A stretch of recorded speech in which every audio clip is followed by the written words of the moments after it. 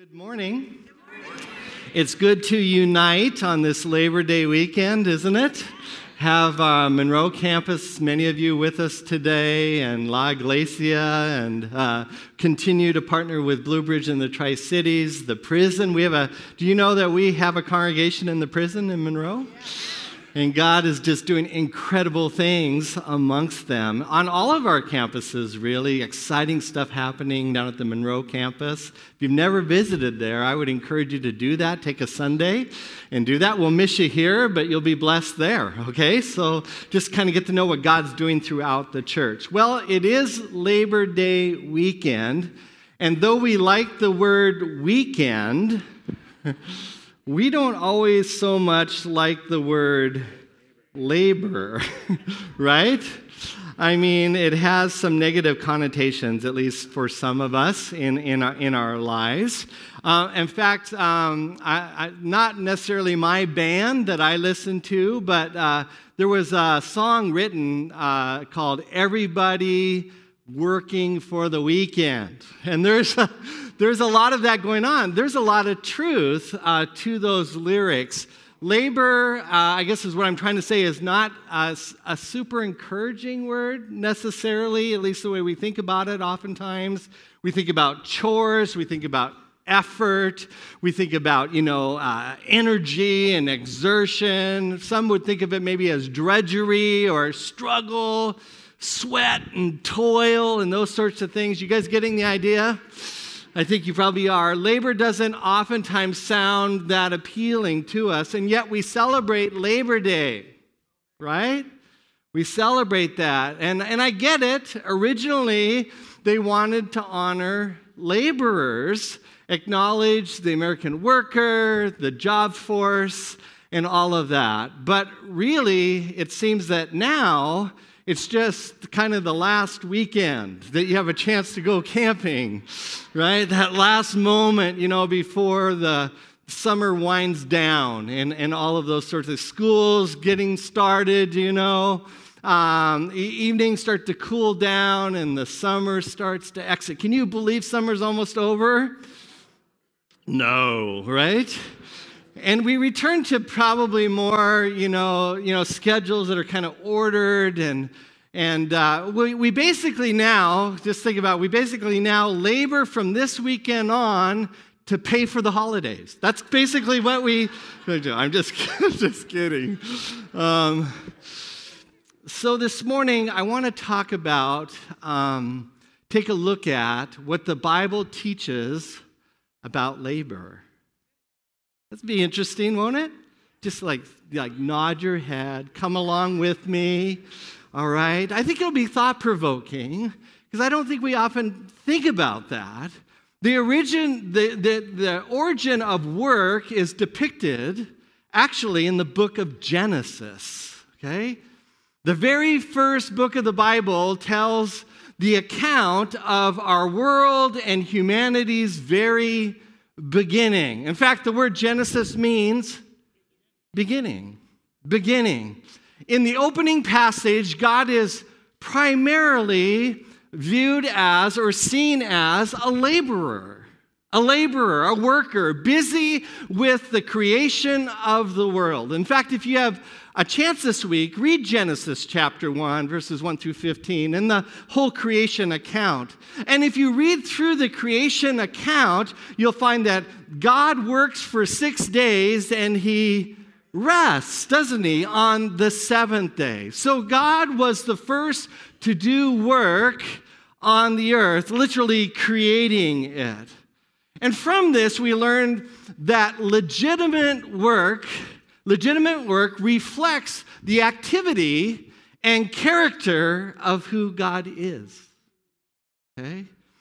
Uh, because God is inherently good, work is also good, right? In fact, Psalm 25, 8 and Ephesians 4, 28 speak to that. In fact, Ephesians 4, 28 says, use your hands for good, hard work Use your hands for good, hard work. And then it goes on to say, and give generously to others in need. That's a great reminder with what's going on in Texas, right?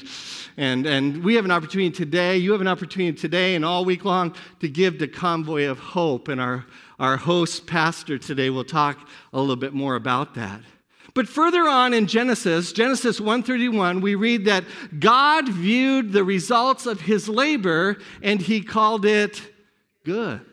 In fact, very good is the idea there. Very good. Basically, he assesses the quality of his work efforts and determines he's done a very good job. He was pleased, in other words, with the outcome. I think most of us can relate to that, right? I mean, after a big project, you guys with me?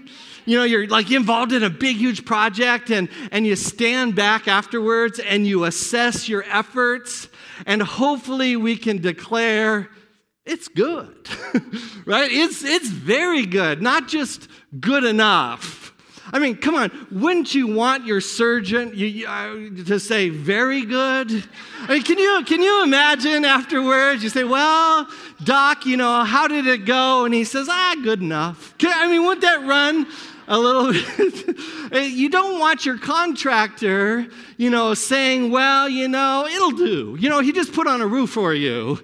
And, you say, well, how's the roof look? Well, it'll do. No, you don't want just to do, right? You want to be excellent. You don't want your hairstylist afterwards, you know, I haven't seen it yet. What does it look good? And they say, ah, it's okay. God evaluated his efforts and declared that the work was very good. So in Scripture, we learn that work should be productive, meaning it should produce high quality outcomes. And we learn that there is a sense of satisfaction that comes from a job well done. Now, in Psalm 19, we read the beautiful passage that describes how God's work reveals him to the world. Check it out with me. Psalm 19, starting with verse 1, says, The heavens declare the glory of God the awesomeness, the majesty of God, the heavens. I was in uh, uh, uh, over in Chelan this year camping, and I went out a number of nights and just laid in a chair and looked up at the sky. Just sky just covered these beautiful stars. It declares the glory of God. Verse 2 Day after day they pour forth speech, night after night they reveal knowledge. They have no speech, they use no words, no sound is heard from them. Yet their voice goes out into all the earth, their words to the ends of the world. Through his work, right? God's work. Through his work, through his creation, God's existence is made known to every single person on earth. So let's think on this. Not only is the earth God's creation, we are his creation. You are. I am. Consider the words of Paul to the believers in Ephesus, chapter 2, verse 10, where he says, For we are God's handiwork, you and I. We are God's handiwork, created in Christ Jesus to do good works, which God prepared in advance for us to do. Isn't that awesome? Think about that. You are God's workmanship. You, who you are, you are created by God and for His good purposes. You were created, you were planned. There are no accidents here, okay? You're not here by chance. He's this amazing, loving creator, and He has designed you and prepared you for His purposes. He has given you talents, abilities gifts that are unique to you and only you, skills, and He calls you, He invites you to use those for His work here on earth. Let's understand that as His creation, our existence, our very existence, our work is to make God known to every person on earth. That's why we're here. In fact, my personal mission statement that I think about frequently is to know God and make Him known to my family, friends, and neighbor. We do that by doing the work He has prepared for us. Okay? And we learn about that work, of course, in Scripture. In the Genesis account of creation, we learn that God designed a garden and he called it Eden. Eden. And Adam was given the job of cultivating and maintaining it. Genesis 2, you can read about in verse 8 and verse 15, and of course other places. And then God instructed Adam and Eve to subdue it and rule over the earth. Here we learn the job.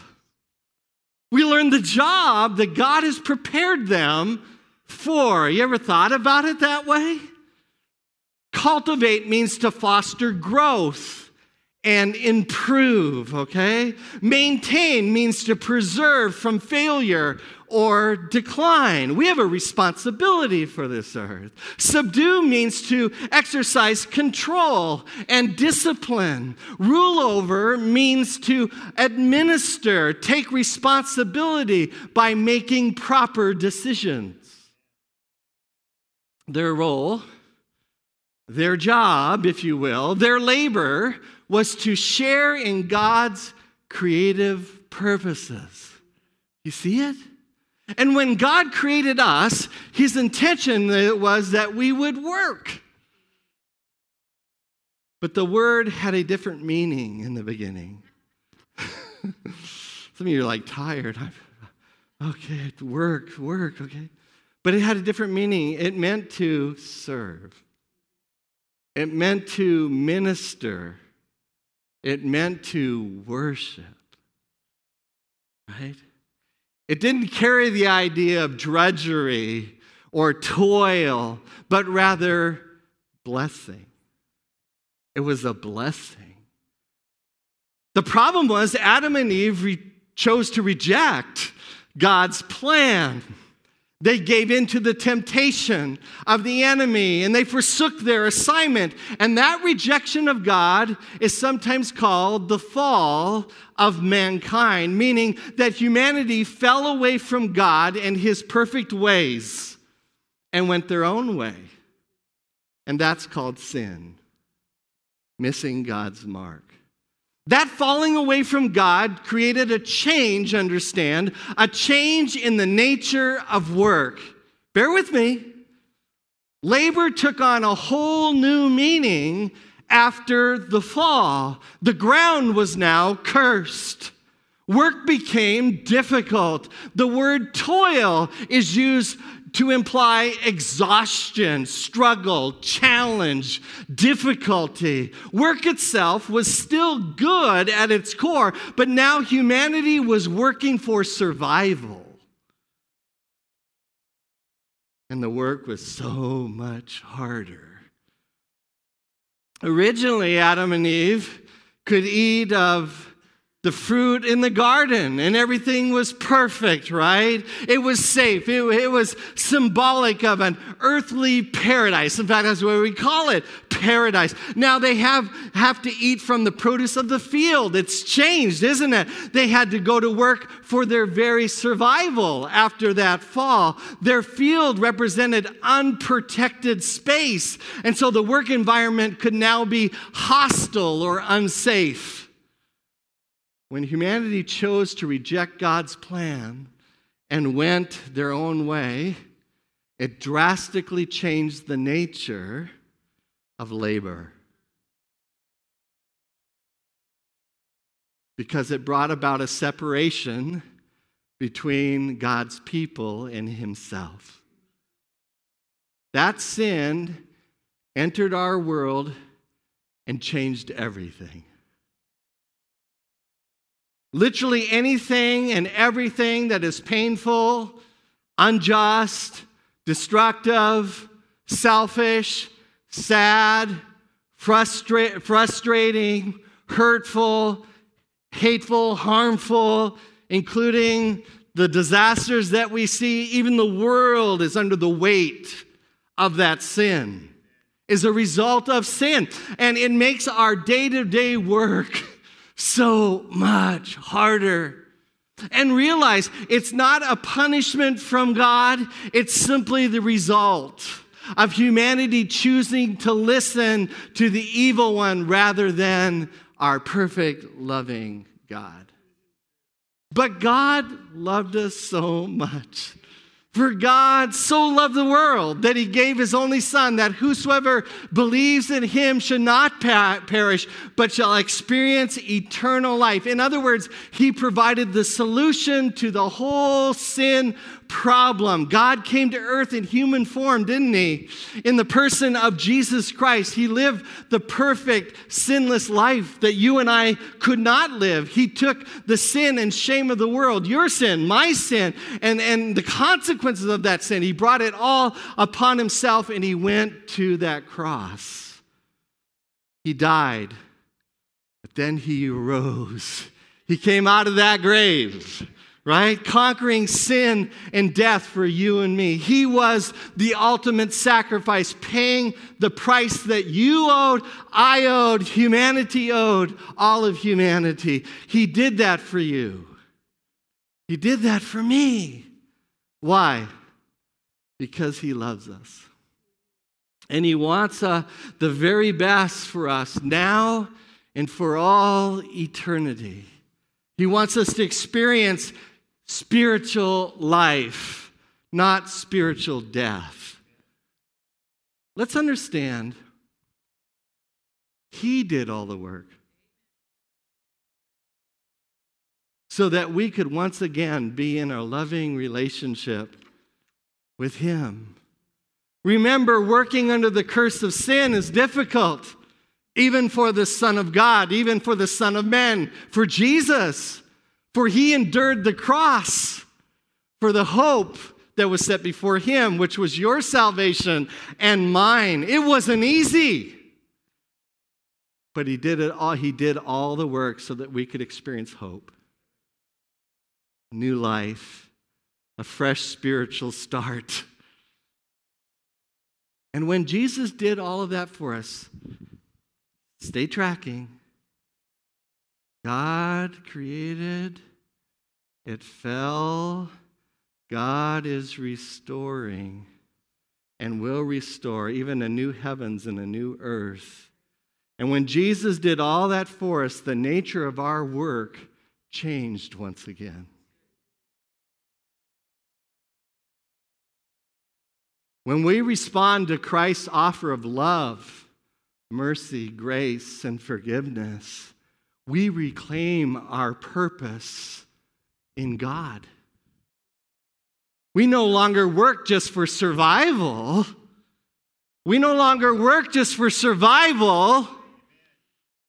We work for His purposes. So, whatever we do, we should reflect God, Imago Dei, the image of God. We're image bearers of God. So, whatever we do should reflect Him. Whatever we do should glorify God just like Adam and Eve were designed to. Glorify simply means to give an accurate representation. Does your life, does my life give an accurate representation of God, who Jesus is? So if we are followers of Jesus, your work, whatever you do, whatever you do, should portray to the world an accurate picture of God, His love. Is that you? His faithfulness, His excellence, His mercy, His forgiveness, His righteousness, His generosity, His compassion. We find this truth expressed in the New Testament in countless places, but by Paul, he says it a number of times. One to in a letter to the church at Colossus, the Colossians, and we read these verses, be looking for now as I read them the idea of work or labor. Here we go. Colossians 3:17 says, "And whatever you do." I think there's implication there, isn't there? Whatever you do, whether in word or deed, do it all in the name of the Lord Jesus, giving thanks to God the Father through him. Colossians 3 23 and 24 says, Whatever you do, work at it with all your heart as working for the Lord, not for human masters, since you know that you will receive an inheritance from the Lord as a reward. It is the Lord Christ you are serving. We can't help but notice a theme there, can we? In all that we do, we do it in the name of Jesus. God provided for the Apostle Paul primarily through tent making.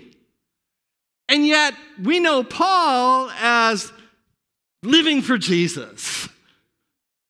The idea that everything we do is for Him to glorify Him. Paul wants us to understand that our lives aren't to be divided into secular and spiritual. Well, you know, I have those secular things I do, and I have those spiritual things I do maybe on Sunday. Whether you work in the automotive industry, or finance, or retail, or medical, or construction trades, or education, or technology, or agriculture, or homemaking, or arts, or sciences, whatever.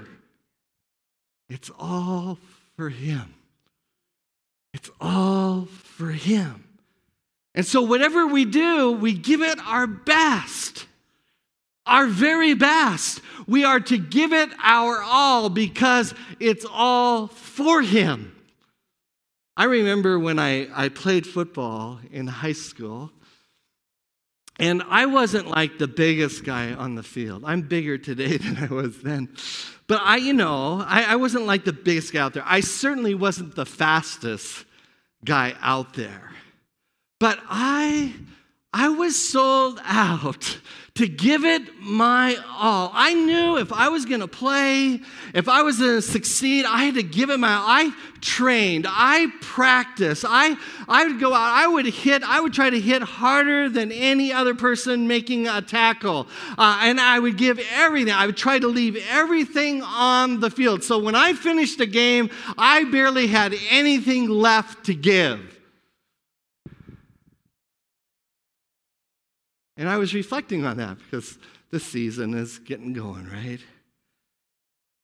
Well, God calls me to the same devotion, that same effort, that same all in way of life in everything I do for Him. Throughout Scripture, we learn we are created for His purpose. So, what was Christ's good purpose? Christ came to earth to seek and save the lost, right? To restore, to repair, to bring wholeness to people's lives, to our world, to make a way for you and me to be in relationship with Him. Jesus came to help the spiritually lost to be spiritually found.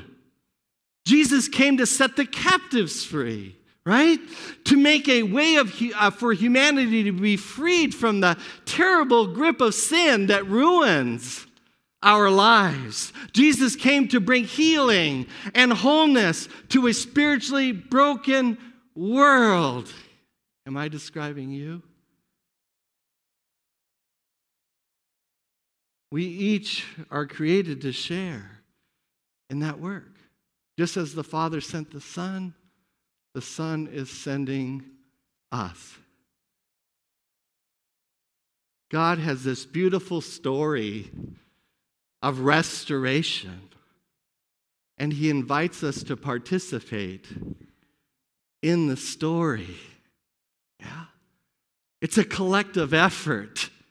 All followers of Jesus everywhere are called to work together for the same purpose. We can read some challenging words. Jesus' words are usually challenging, aren't they? But we can read some challenging words of Jesus in Matthew 9, verses 35 through 38. Let me read it to you. Jesus went through all the towns and villages teaching in their synagogues, their places of worship, proclaiming the good news of the kingdom and healing uh, every disease and sickness. When he saw the crowds, he had compassion on them because they were harassed and helpless. You ever feel like life's harassing you? yeah? Like a sheep without a shepherd, it says. Then he said to his disciples, The harvest is plentiful but the laborers, the workers are few. Ask the Lord of the harvest, therefore, to send out workers into the harvest field. Friends, we are those laborers. It's not going to be somebody else. We are those laborers. And people who don't know Jesus are the field. It's our privilege to share in the work of Jesus. We are, are we moved with compassion? Come on. Do we see the brokenness of our world? Do we work to bring God's healing and, and wholeness? Do our lives introduce people to, to Jesus, the Good Shepherd, who will lead them and guide them and protect them and provide? I, I was listening to the radio this week, and a little blurb came on from the Union Gospel Mission in Seattle. Now, this could be anything, but it just happened to be the Union Gospel Mission and the director there, and, and they were interviewing him. And the interviewer said, Well, you do understand some of these people have chosen to be here. Just through their actions, this is what they get. And he just he didn't respond. I was really interesting to listen to him. He said, "You do realize there's various reasons why people are where they are. Why do you do this?" He says, "You know, you're right. There's a lot of reasons people why people are at the Union Gospel Mission." He says, "You know, God hasn't called me to worry so much about the why. God has called me to minister to the fact they're here." And I am called to bring redemption to their situation, regardless of how they got here. Even if they're scamming the Union Gospel mission, they need redemption. I think it's because we've mistakenly separated our lives into secular and spiritual. We grab onto these things. We've talked about it before. We think of our lives as a pie, you know, slices of the pie. I have my family slice, I have my, my work slice, you know, I have my sports slice, I have my home slice, I have my face slice. You guys are getting the idea, right? Yet God created us wholly and completely for his purposes. So it doesn't really matter which slice of the pie you happen to be in at any given time. We do it all as unto the Lord. Doesn't matter if you're an owner or a boss or an employee or a stay at home mom or dad. Let's use every moment for the mission and purpose of Jesus. Whatever you do, do it as if you're serving Jesus. I worked, when I first came to Maltby, for a couple years, I worked another full time job. And it was a furniture store in Redmond. And God honored me there. I worked hard, and He just kept bumping me up until He got me into different positions that eventually I would use in the church. Interesting how God works, isn't it? But so many days I was like, God, why am I here? Can't I get started on what I'm really supposed to be doing? And I thought that a lot. Well, eventually, the church was able to compensate me so I could go full time. And it was a blessing, honestly. Um, but you know, twice now, years and years later, and I don't, I don't say this to like brag about myself. I'm trying to illustrate something. When I was there, so often the times I just thought, well, I'm not making a difference because I knew I was supposed to make a difference for Jesus. I was a pastor, right? And all of us are. Priests, right? Under the Lord, if you're a believer. And I would, twice, I got a call. I got a call from one of our designers one time. Said, David, you had to come down to see what's happening at the furniture store. Oh, that's weird. Okay, I know what happens there. you know? So anyway, I went there and she goes, I guess I'm really exciting to tell you. I thought she was going to tell me about some, you know, job she had and X number of dollars made, you know, and all this. And she goes, I gave my life to Jesus. I thought, wow, you know? She goes, yeah, you know why? Because of people like you. I go, well, what did I do? You were smiling when everyone was frowning. When everyone jumped in and was criticizing the owner, you always remained silent. I remember that. You know what that did in my heart? It does make a difference. Be the person who does everything for the Lord because it's Him. Remember, your life is to be an accurate reflection of Jesus, glorifying God to the people around you, your family, your coworkers, your neighbors. I could do a better job with my neighbors. I'm just standing up right here today saying, I need to do better with my neighbors. Thought provoking questions, okay, that I thought I asked myself, I'm asking you now. Do you, ref- do you reflect the love and restoration of Jesus in your workplace, in your school? in your neighborhood? How do people characterize you in your neighborhood? When they think about you, what are you known as? Do you recognize that whatever you, you know, what, whatever, wherever you are, wherever you are, is your mission field? If you don't, it's very possible you're unhappy with your life and most likely your job. I find it interesting that surveys show that seven out of 10 North Americans are dissatisfied with their jobs and dread going to work and doing the work. Almost everyone's working for the weekend. Reality is, we will spend a good portion of our lives working, commuting, and thinking about our labor.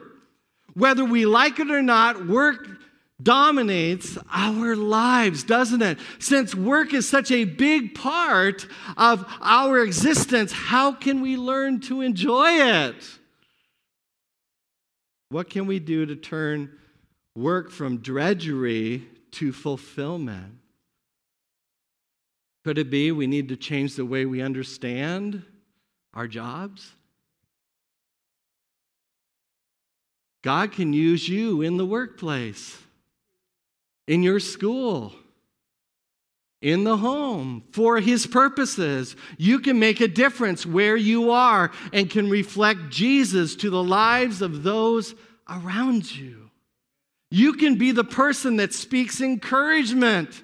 You can be the person that offers to pray when somebody is hurting. You can be the person that smiles when everyone is frowning. You can be the person that offers kindness in a very unkind environment right now.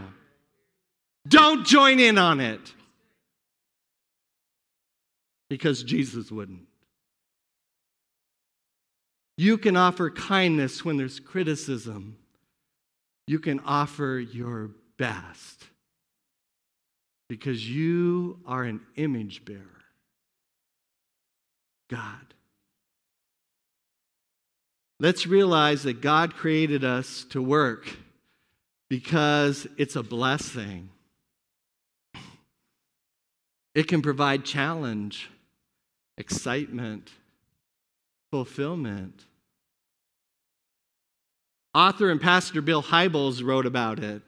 He wrote this Human labor was designed by God, assigned to every one of us, and offers us an opportunity to build confidence, develop character, and enjoy the satisfaction of accomplishment. Does that sound like a curse? There's a special sense of satisfaction. Stay with me, we're almost done. There's a special sense of satisfaction we can only find in the completion of meaningful labor.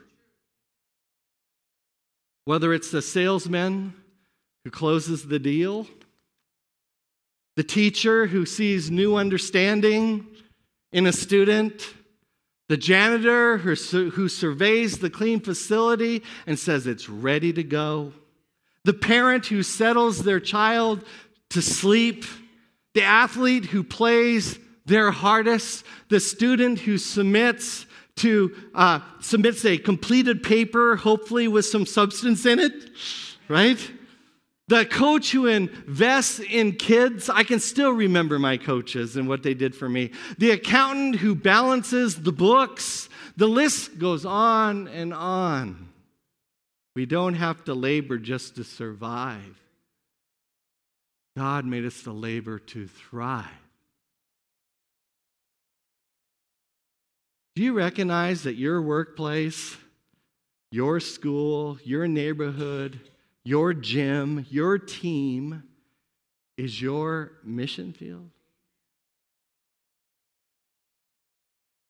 You are there primarily to make Jesus known. You are there to do the work of Jesus, bringing hope, healing, love, kindness. You are there to make a difference. You are there to see people with compassion and mercy and love. You're there to help those that are being harassed. You're there to show them the good shepherd. Jesus said, The harvest is plentiful, but the laborers are few. That simply means there are a lot of people who are ready to know their Savior. They're ready. They're ready for mercy. They're ready for grace. They're ready for forgiveness. They're ready for salvation. The harvest of the earth is the salvation of lost humanity. And we are the instruments that God has chosen to use. We're the sickle that's used to bring in harvest. Today, vernacular, we're the combines, right? The doctor, the businessman, the student, the homemaker, the driver, the teacher.